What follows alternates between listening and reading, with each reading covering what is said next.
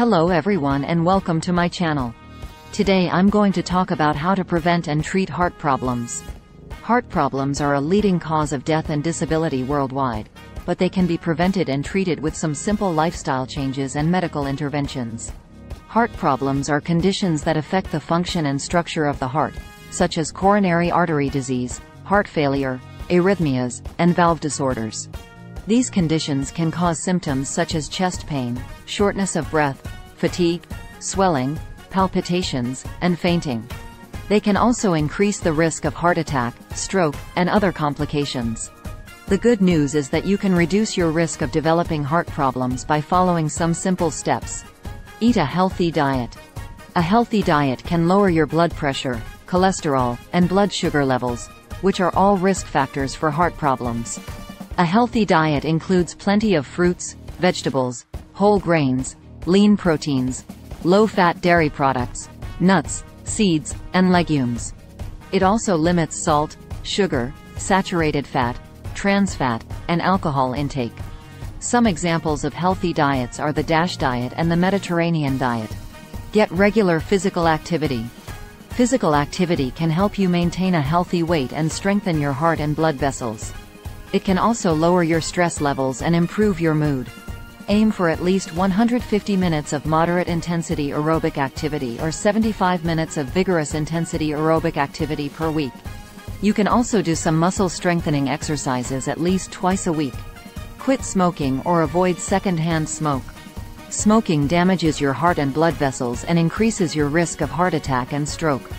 Quitting smoking can improve your health and lower your risk of heart problems.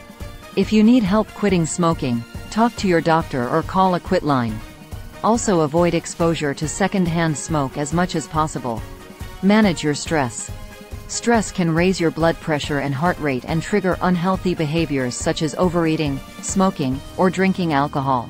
Stress can also affect your mental health and well-being.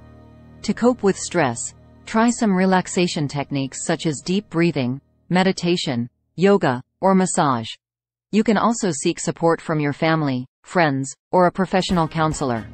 Check your blood pressure, cholesterol, and blood sugar levels regularly.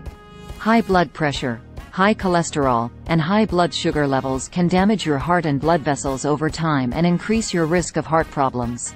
You should check these levels at least once a year or more often if you have a family history or other risk factors for heart problems. If your levels are too high, Talk to your doctor about how to lower them with lifestyle changes or medications. If you already have heart problems or have had a heart attack or stroke in the past, you should follow these steps as well as take any medications prescribed by your doctor. Some common medications for heart problems are ACE inhibitors or ARBs. These drugs lower blood pressure and reduce the workload on the heart by relaxing the blood vessels. Beta blockers. These drugs lower blood pressure and heart rate by blocking the effects of adrenaline on the heart. Diuretics.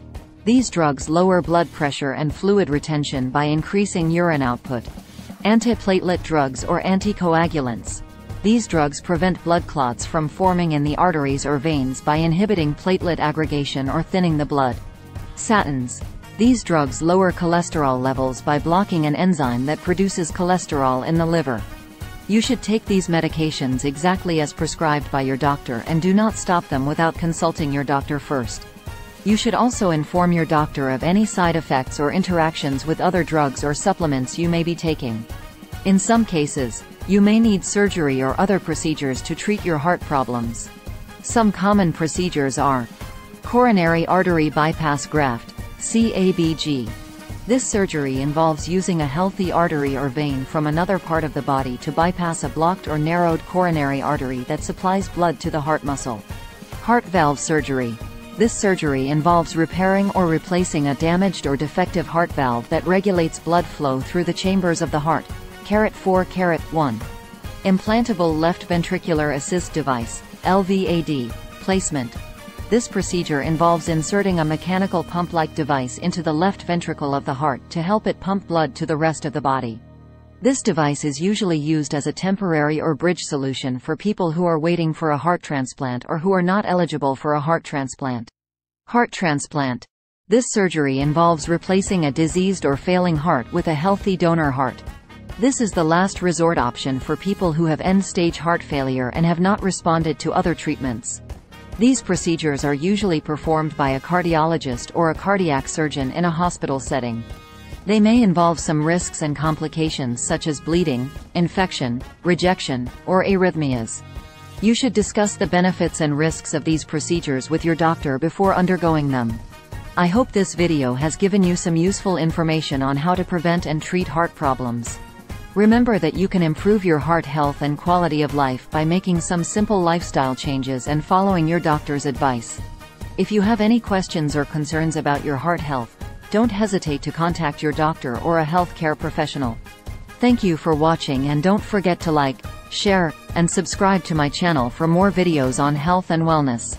See you next time.